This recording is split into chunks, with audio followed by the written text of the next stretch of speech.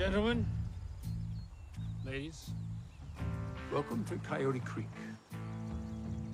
you've been split into two teams red and black. The goal is to capture as many headbands as possible from the other side.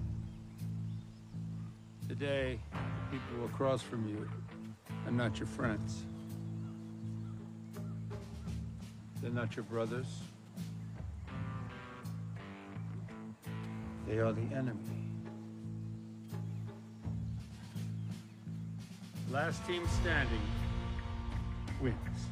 How do we get the headbands? By any means possible. No rules. Use your judgment. This is just a training exercise. Correct. But remember, this is your life. You lose it. You die.